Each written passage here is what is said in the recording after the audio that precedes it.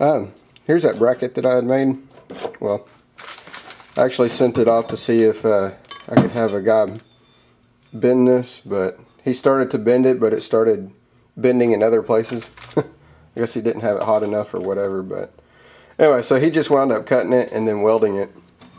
And uh, this guy's amazing. I mean, it's that's some good stuff right there. But uh, anyway, so he did that, and then of course, as you can see, this piece of crap is what I did. But uh, I cut it just a little bit shy so I can get in there and uh, and weld that up all around. And so we'll see how that works. Um, I'm going to try and set you up so you can see me do this. But uh, no promises. I'm going to put the uh, welding helmet on. and we'll kind of just play it by ear and see what happens.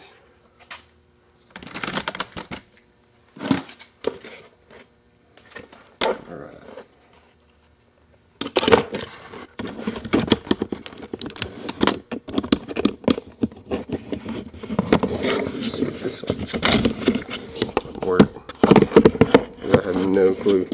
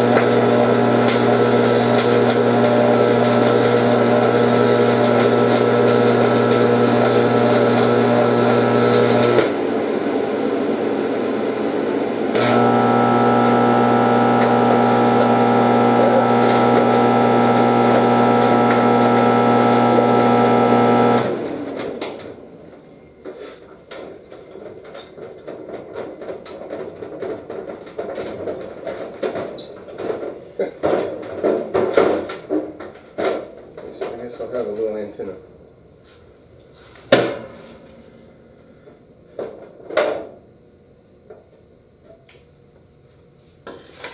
don't know how much of that you can see anyway, so. And my dog walking around too. So I don't know.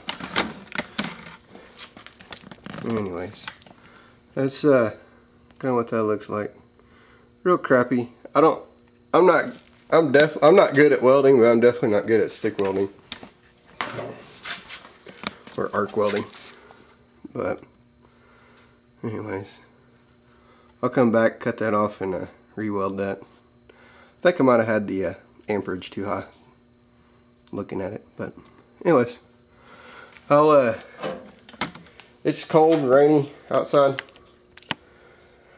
so I'll uh finish doing that and then I'll put it on the the box blade and then mark the holes and like I said um I'll probably wind up putting a hole kind of up here and then another one a little bit farther down for the actual quick quick hitch to uh, hook onto but uh, anyways that's that um, comment and rate let me know what you think Talk to you later. Thanks for watching. Bye.